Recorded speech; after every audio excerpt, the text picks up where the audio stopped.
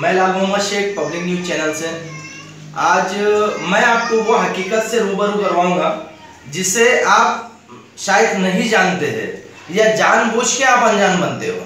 आ, मैं आज आ, खड़ा हूँ मुमरा से सटे हुए एक शील फाटा रोड पे खड़ा हूँ। शील फाटा से जो कड़ी गाँव के लिए जो रोड जाता है उस रोड पे मैं खड़ा हूँ। और उस रोड के ऊपर एक देखिए, केले का यहाँ पे फरसान का दुकान है, जिसे आपके बच्चे जब कहते हैं कि पापा जरा फरसान लेके आना। और फरसान लाने के टाइम जो फरसान का नाम सुन के आपके मुँह में पानी आता है, मैं ऐसे फरसान के दुकान पे आज खड़ा हूँ और ऐसे फरसान से और ऐसे चिप्स से मैं आपको रूबरू करवाऊँगा, जिसको देख के आप शायद चिप्स या फरसान खाना आप छोड़ देंगे।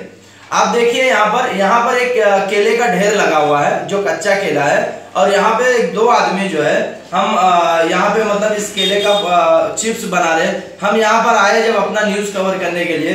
तो ये जो ऑरेंज कलर का जो शर्ट पहना हुआ है ये आदमी, इसने हमको फ़ोटो लेने से या हमको वीडियो बनाने से मना कर दिया।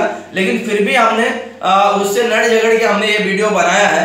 और यहाँ पर देखिए कि कितनी गंदगी के साथ, ये कितनी गंदगी जो हमारे भावनाओं से खेली जाती है, जो हमारी सेहत के लिए या हमारे बदन के लिए कहीं ना कहीं इतना बड़ा नुकसानदेह है। तो देखिए कितनी गंदगी के साथ ये जो है आ, ये यहाँ पे ये चिप्स और ये फरसान बनाया जा रहा है। आप जैसे कि देख सकते हैं देखो ये कुछ तला हुआ यहाँ पे रखा हुआ है और कुछ फरसान ऐसा है जो कि ये बना रहा है। देखिए आग के अंदर ये तल रहा है और बहुत सारे यहाँ पे देखिए ये ये गंदगी आप देखिए ये पानी का जो यहाँ पे पानी का देखिए ड्रम सब ऐसे खुले पड़े हुए हैं। इसी में नहा रहे हैं इसी में छीटे पड़ रहे हैं और इसी चीज़ से जो है ये फरसान तैयार किया जाता है।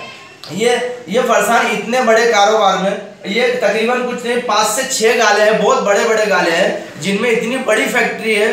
तो हमारे जो आ, ये स्वास्थ्य के जो हमारे आ, जो फ़ूड ऑफिसर्स जो है इनके इतने बड़े पैमाने पे काम हो रहा है तो क्या इनकी आँख यहाँ पे बंद है? और और आपको एक चीज़ बताना चाहता हूँ मैं कि यहाँ शिल फाटा कल्याण फाटा उत्तर शिव यहाँ पे जितनी चीज़ें हैं, चाहे वो अचार बनाने का फैक्ट्री हो, चाहे पापड़ बनाने का फैक्ट्री हो, इतनी गंदगी के साथ बनता है कि आप अगर देख लेंगे तो शायद उस दिन से आप फरसान या अचार या पापड़ खाना छोड़ देंगे। तो क्या ये अधिकारियों को इस चीज़ का पता नहीं है?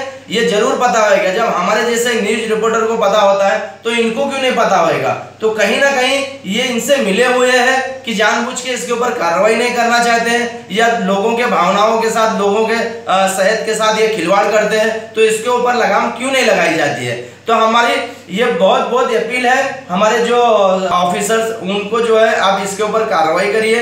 और कहीं ना कहीं इनको आप देखिए कि मतलब हाँ किस तरीके से ये लोग बनाते हैं, इनका तेल कैसा आता है या इनका पानी कैसे आता है, इसके ऊपर आप ध्यान दीजिए। हम फिर नई न्यूज़ के साथ में हाजिर होंगे। जब तक के लिए, लाल मोहम्मद शेख, नमस्कार।